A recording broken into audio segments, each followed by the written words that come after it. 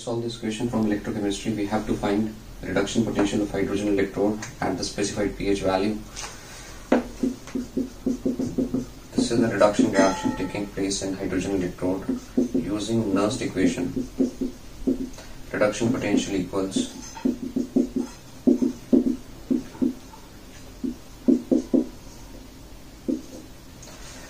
standard reduction potential of hydrogen is zero.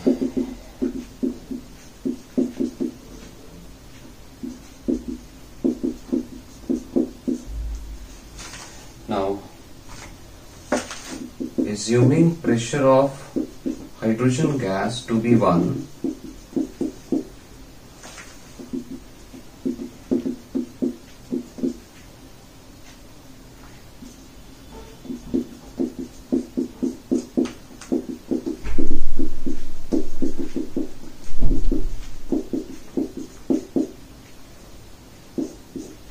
this 2 cancels with this 2 log 1 by h plus can be written as pH okay?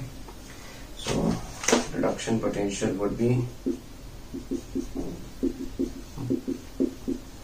into pH the pH value given in the question is 3 that gives you this answer. So C part is correct choice. Okay let's take a look at this question from organic chemistry the compound given first of all with the alcoholic KOH it undergoes elimination reaction. So HBr should be eliminated which gives you this alkene. The alkene is now treated with HBr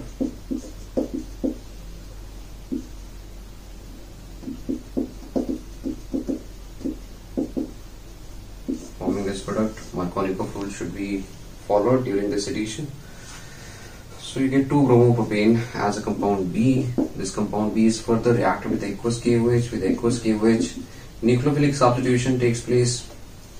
So that bromine gets replaced with a nucleophile hydroxyl ion hence this is the final product C.